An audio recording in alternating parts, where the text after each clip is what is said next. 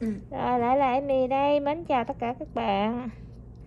Hôm nay lại mì làm phiêu cho cô khách này nha các bạn. Món của đi ba tầng rồi đó. À, trước tiên em mì bỏ cái nước bondet lên. Em mì xài cái loại này nha các bạn. Cái loại này nó đỡ hôi lắm. Nhiều bạn hay hỏi em mì xài cái loại nào. Rồi bây giờ mì đắp cái phiêu rồi.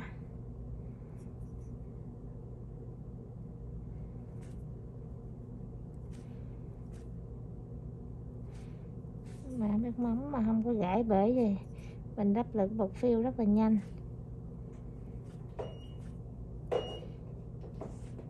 Có nhiều bạn hỏi em mì xài cái bột nào mì cũng chia sẻ em mì xài cái bột loại 5 ngàn đó nha bạn. Cái loại phai tháo danh của cái uh, Alpha Panel Supply. Cái bột này đắp mùa đông rất là ok luôn.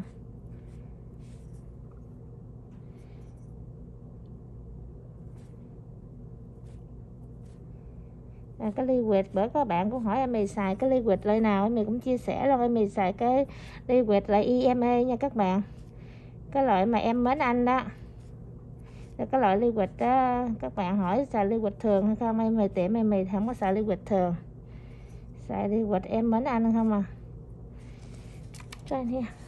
Tại vì mình xài cái loại ly theo cái tiêu chuẩn của cái à, tách bo nó, nó nó khuyến cáo cho mình xài cái loại đeo quịch nó cũng dễ đắp lắm các bạn.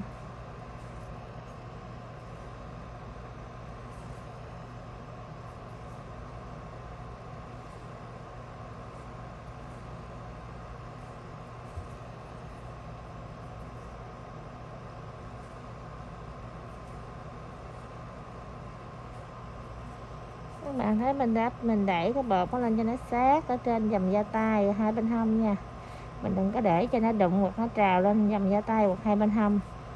Thì cái khâu mà lấy xếp của mình với khâu chả láng của mình rất là cực luôn. Mà nó giờ tới luôn rồi, bây giờ mẹ cho cô khách hơi nha.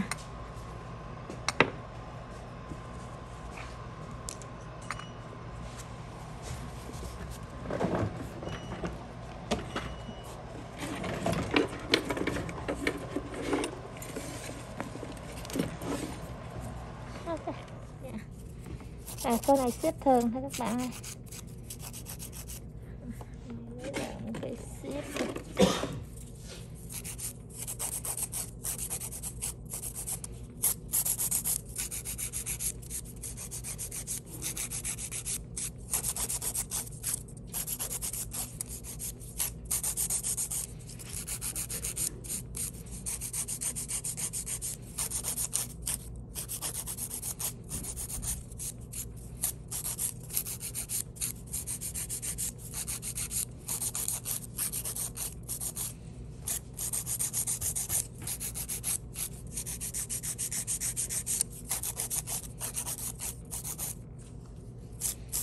Các bạn thấy em này đắp bọt là không có chảy hai bên hông. Mình khỏi cần phải nặng ra nha mình thấy cơ mình chỉ cần đặt giữa vô là mình giữa thẳng thôi. Các bạn thấy là hai bên hông nó không hề chảy bọt ra nó không có dính luôn.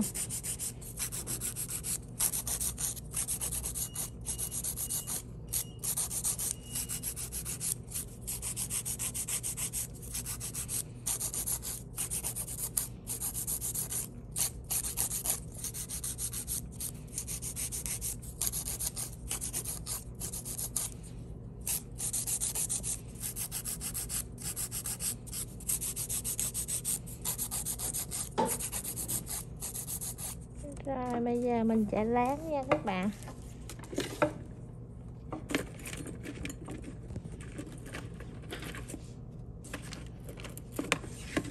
Khi mình bỏ bột chuẩn mình chạy láng đầu nào cũng được các bạn.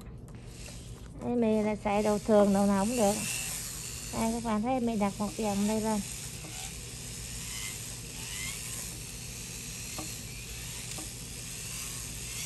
đó, là các bạn đi để sạch cái dòng da tay rồi không cần phải chạy gì nhiều hết.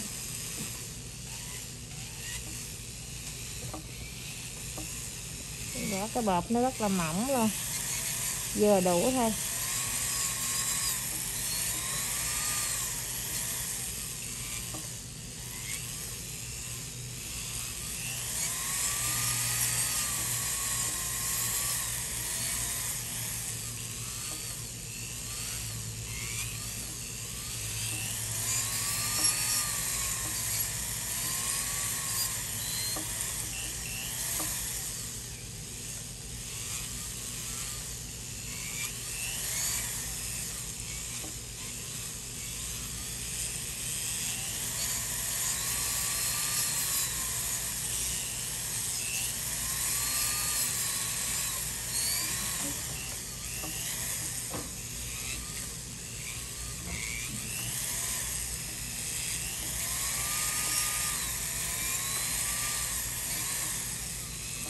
Cái mẹ mì đặt từ bên đây ha.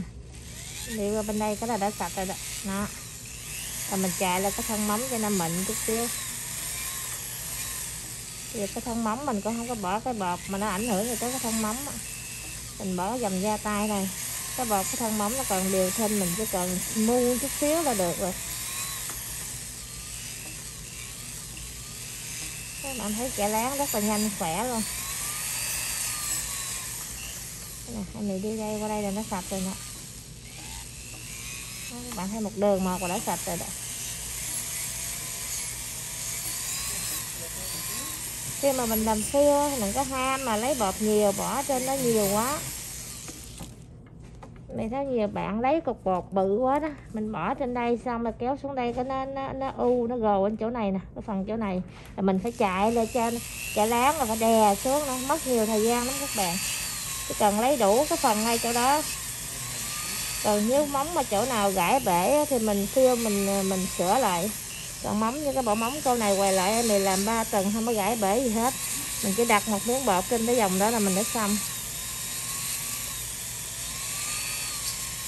Rồi. Bây giờ này bắp vờ nữa là xong đó nha bạn. Nó như vậy là sau khi khách rửa tay mà lại sơn màu thường thôi chỉ cần năm ba phút nữa là các bạn sơn keo xong là mình đã hoàn thành xong cái phiêu rất là nhanh luôn.